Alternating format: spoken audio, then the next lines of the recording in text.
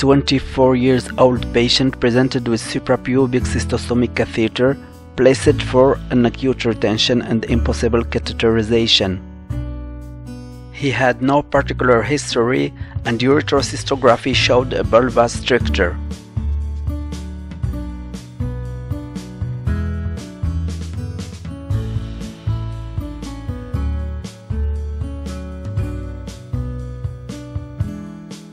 At urethroscopy, there is a circumferential lesion extending for 4 or 5 cm, composed of neat rows of fossae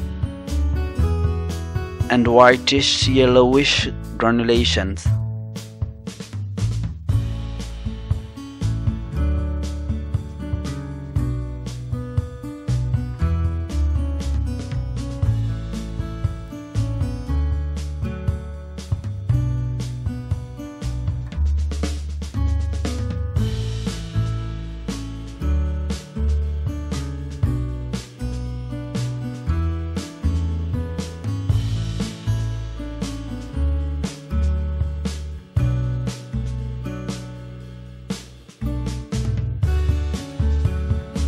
After endoscopic internal urethrotomy, the membranous and prostatic urethra are normal.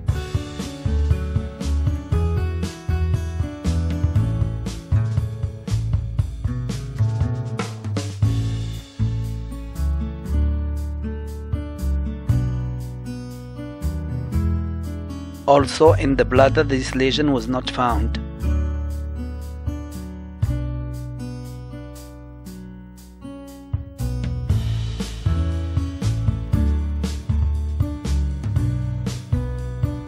Cold forceps biopsies were performed.